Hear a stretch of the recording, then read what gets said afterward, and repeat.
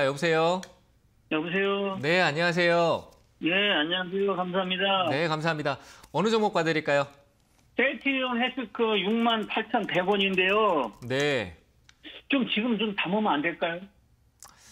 68,100원에 비중이 몇 프로시죠? 10%요. 10%요.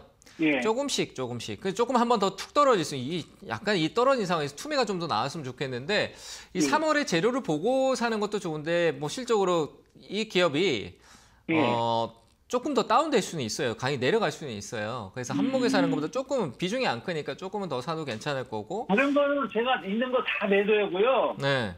지금 요거 하나만 갖고 있어요. 그래서 어, 조금씩 조금씩 늘려 보세요. 괜찮아요. 어. 아, 그죠? 네, 왜냐하면 셀트리온 쪽에 관련된 부분 또 오- 올해 이제 바이오 시밀러하고요. 그리고 예. 뭐 관련된 부분에서 이제 바이오 시밀러라고 하면 이제 약에 대한 부분들이 특허권이나 이런 것들이 만료돼서 기존에 이런 셀트리온 같은 기업들이 준비했던 것들이 이제 막 특허나 임상에 대한 결과를 막 꺼내내거든요. 근데 바이오 예. 복- 복제약들은 웬만하면 임상에 대한 부분들이 이 통과되는 확률이 조금 높아요. 그런 게 올 3월 달에도 하나 있고요. 램시마 쪽 관련된 부분도 있고 그리고 조금 연기되긴 했지만 7월 달에도 모멘텀이 있고 이러니까 올해 모멘텀을 생각한다라면은 그리고 바이오도 한번 반등 나올 시점이 됐고요. 3월 달 중순 이후쯤에.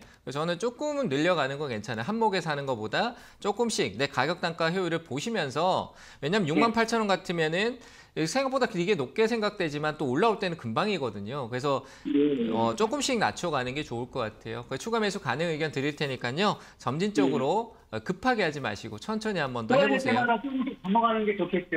네, 떨어질 때마다 조금씩 담아가는 거. 그렇죠. 그렇게 그게 아주 좋은 것 같아요. 많이 말고 조금씩 담으셔도 되잖아요, 그렇죠? 예, 그렇게 예. 잘 해보시기 바랍니다. 예, 감사합니다. 네, 감사합니다.